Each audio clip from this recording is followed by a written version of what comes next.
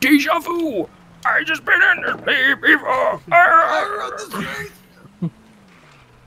And I know it's my time to go. What the hell am I using? I I think. Josh blew up the car. It won't let me out.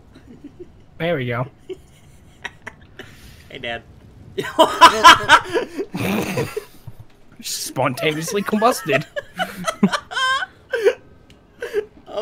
My gosh.